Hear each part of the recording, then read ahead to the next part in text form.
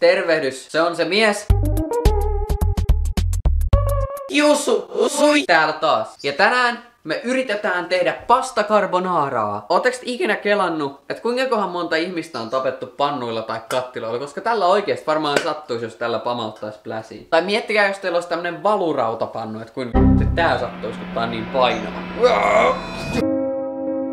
Mä olen kuullut huhua, että on aivan vaikeeta osata laittaa oikea määrä tätä spagettia kattilaan ja kiehottaa juuri oikea määrä yhdelle ihmiselle, että sitä menee aina liikaa.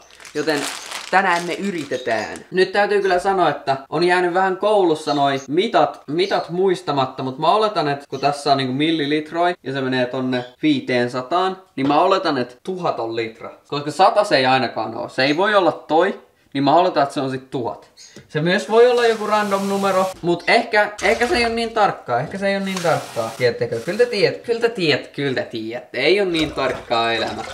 Kuitenkin tässä kuollaan, niin ei sillä ole mitään väliä meneekö spagettivedet oikein vai ei. Nyt kun me ollaan saatu spagettivedet onnellisesti sinne paikoilleen, niin meidän pitäisi arvioida, että kuinka paljon tästä kilon pussista on 300 grammaa. Ja nyt on vuorossa Laske spagetit Jusun kanssa.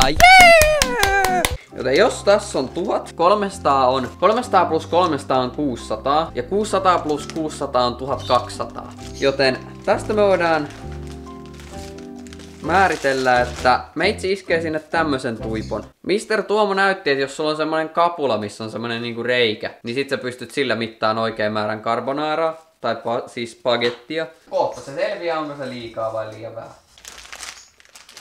Sitten tuonne pitäisi laittaa myös suolaa. Teelusikka suolaa on vaikka, vaikka ton verran, mä tiedä. Ja tää on aromisuolaa, eikä normisuolaa. Ja kukaan ei ole vieläkään kertonut mulle kommenteissa, miten eroaa aromisuola ja normisuola. Onko aromisuolassa joku aromi? Aromisuola on varmaan parempi kuin ei-suola. Päivän opetus. Siinä oli päivän opetus. Hello! Meillä on täällä näin kaksi pakettia pekonia, jotka meidän pitäisi pilvata tonne karbonaaraan. Ohjassa luki 150g pekonia. Ei, me, ei me olla noit pastojakaan tarkkaan mitattu, niin näissä nyt on 170 grammaa paketti. Niin se nyt on vähän niin kuin enemmän. 40 grammaa enemmän, onko? Mä en tiedä. Tiedättekö, elämässä ei voi olla ikinä mistään varmuutta, tiedättekö? Kaikki mitä ihmiskunta tietää tähän päivään mennessä voi olla väärin. Koska mistä me se tiedettäisiin? Emme voida tarkistaa mistään. Pekonin leikkaamisessa on semmonen ö, tipsi, että se kannattaa tehdä veitsellä. Sakset myös toimii. Ootteko ikinä kokeillut leikata pizzaa saksilla? Se nimittäin on aika hyvä juttu. Me otamme nämä pekonit tästä ja me lätkitään ne tonne pannulle. Mister Tuomo sanoi, että älkää pistäkö liian kovalle sitä pannua. Me isketään se nyt kolmoselle. Saatatte kysyä, että miksi mulla on valurautapannu eikä teflon pannua. No homman nimihän on se, että jos sä lämmität teflonia niin kuin tosi korkealle lämpötilalle, siitä nousee jotain niin kuin aineita kautta höyryjä, jotka on myrkyllisiä linnuille. Ja varsinkin jos mä oon tässä nyt joskus alkuvuodesta muuttamassa semmoiseen johonkin itsemurha hik- hikikomeroon Tampereelle, mä en voi siinä samassa huoneessa teflonpannuilla lämmittää ruokaa, missä on lintuja. Ja sen takia meillä on valurautapannu. Sitten seuraavaksi meidän pitää rikkoa valkosipulin kynsiä. Ehkä vasara on huomattavasti hauskempi tapa rikkoa niitä ja parempaa kontentille. Montas me tarvittiin? Me tarvitaan kaksi valkosipulin kynttä, joten me tehdään kompromissi. Okei, okay? me lyödään toista vasaralla ja toinen me pilpotaan silleen niin kuin normaalisti. Niin kuin normaalit ihmiset tekee. Valkosipulit vaan juoksee karkuun. Olemme hienontaneet valkosipulia. Oho, mä leikkasin aika tyylikkäästi tohon. Mun isä just kommenteissa sanoi, että älä leikkaa sormeen. Leikkasin sormeen, mutta leikkasin vaan tossa niin kuin kynnen poikki. Näkyyköhän se? Kattokaa tosta, niin kuin kynnen poikki. Mutta se oli hyvä. Se ei ollut... Kynsi ei ole osa sormea. Päivän fakta, kynsi ei ole osa sormea. Haha. Kattokaa. Ette voi väittää, että olisi paska. Ette voi väittää, että olisi paska. Seuraavaksi laitamme valkosipulit pannulle. Maistuis varmaan pekoni sullekin. Ja siellä meidän spug- spagetti spuguttu on mennyt tonne sisälle.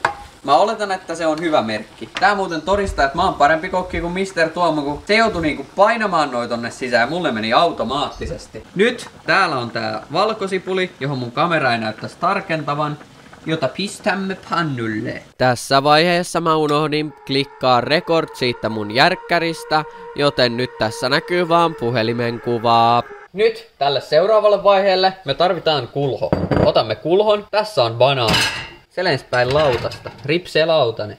sitten me tarvitaan kaksi munaa, mitkä meillä on täällä. Me tarvitsemme kaksi desilitlaa lit, litlaa kelmaa, mitä meillä on täällä. Ja me tarvitaan parmesaani juustoa, tässä lukee parmigiani, niin se kuulostaa siltä, että se voisi olla lähellä. Tämä myös pitäisi raastaa, mutta mulla ei ole juusto raastinta, joten mä leikkaan sen tosi pieniin palaviin. Pieniin palaviin. Kuten saatoitte huomata, mä heitin tätä kananmunaa tolla, mutta se ei onneksi räjähtänyt pöydälle. Me lähdetään pelastamaan tätä täältä. Näin ne, näin ne kananmunat. Tää tilanne ei taida olla enää pelastettavissa. Vai onko? Tu näittekö, että olisi tippunut yhtäkään? Yhtäkään sinne, paitsi se yksi. Ei tippunut yhtäkään! Ei yhtäkään tippunut, ei yhtäkään palaa. Näin. Seuraavaksi iskemme ruokakerman. Ja ette voi sanoa, että mä oon paskakokkaa. Mä en tiputtanut yhtäkään. Oh, jep. Ai että näyttää herkulliselta. Kattokaa tota. Se on niin kuin linnun paskaa. Näyttää ihan linnun paskalta. Seuraavaksi meidän pitää saada tänne. Itse me voitaisiin sekoittaa tätä vähän. On herkullista linnun paskaa. Sitten meidän pitäisi saada puoli desiä juustoa sinne. Ja mä nyt näytän teille, miten me hoidetaan tää homma. Avataan tää pakkaus, silleen, että sitä ei varmasti saa enää kiinni, ja että se juusto menee pilalle ja kovettuu. Sitten kattokaa, tässä on desin mitta. Jos me kuviteltaisiin, että me täystettäisiin se juustossa, Kattokaa tätä. Te ette voi väittää, että... Tai no itse asiassa voitte ihan äärimmäisen hyvin väittää, että mä oon tyhmä, mutta jos Mensan, Mensan älyköt kattois tätä videota, just ne soittais mulle niinku välittömästi tästä hommasta. En tiedä onko siinä puoli desiä, mutta mä haluaisin ainakin itse kuvitella, että siinä on. Kysymys ei ole, onko se raastetta vai eikö se ole raastetta, vaan se on, että onko se juustoa. Se on se oikea kysymys. Jos me isketään näitä päällekkäin, niin me saadaan enemmän leikattua kerralla. Kun miehen tekee mieli pastakarbonaaraa, ei kysytä, että voitko sä tehdä pastakarbonaaran, vaan kysytään, että miten sä voit tehdä pastakarbonaaran. Muistakaa tämä lapset. Itse asiassa tätä voisi kyllä komedian takia vielä lyödä tuolla vasaralla. Toi on lopettanut kuvaamisen. Milloinkohan se on lopettanut sen kuvaamisen? Otamme täällä nämä. Iskemme kulhoon. Tämä me siivoamme sitten kun jaksaa. Eli ei koskaan. Sitten kulhoon kuuluu lisätä mustapippuri ja aromisuola. Ja näitä tuli kumpaakin puoli teelusikallista. Soossaillaan tätä keittoa vähän. Ja sitten me vaan isketään nämä pekonit tänne. Tää painaa. Te voitte käyttää teidän napaa vipu varten. Ja sitten... Ai saatana sieltä tuli kieluvaa vettä jaloille. No joo, mutta ei anneta sen häiritä. Me iskemme seuraavaksi nämä tänne. Se olisi kannattanut varmaan heilutella vähän paremmin. Ja Bon... Siinä se nyt on. Siinä se on.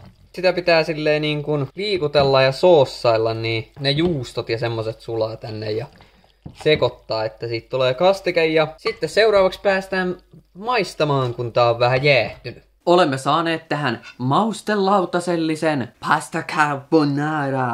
Me nyt vertaillaan sitä siihen, mikäköhän merkkinen se on. Mä laitan tähän kuvan pussi pasta carbonaraan, koska se on mitä mä aina syön. Mä vaan lisään siihen sit, kun siellä on pekonin paloja, mutta mä vaan lisään siihen pekonia kokonaisen sipuli ja se on ässy. Mut nyt me tehtiin niin kuin oikeeta pasta carbonara, eikä jotain pussipaskaa. Ensimmäistä kertaa mun elämässäni. Mielenkiintoiset setit.